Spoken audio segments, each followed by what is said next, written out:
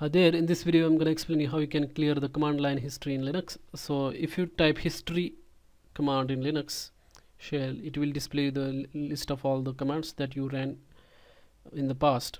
If you want to clear that uh, commands in the history what you have to do is you have to type this command history dash c and then hit enter and then that uh, commands are deleted.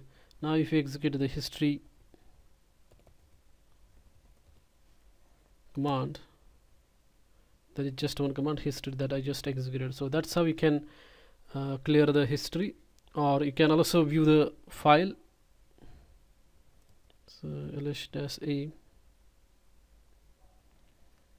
and star history. Suppose if you want to view the history file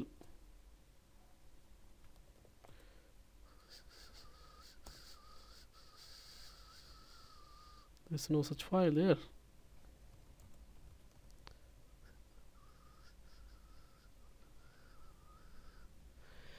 so there is a file called as bash underscore history. So maybe like that. Cannot access history no such file or directory.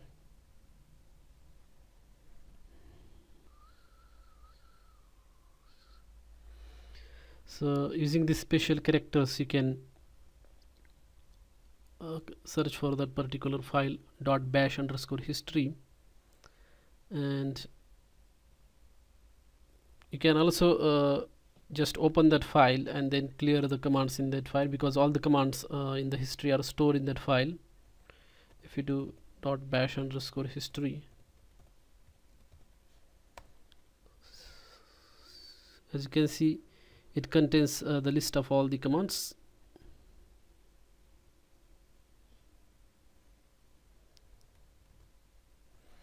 so you can also delete it from there. So uh, that the change will be permanent because uh, the history dash s com uh, c command will probably delete the history for particular session only. So you might need to clear the dot bash underscore history file to delete the history permanently. Thanks for watching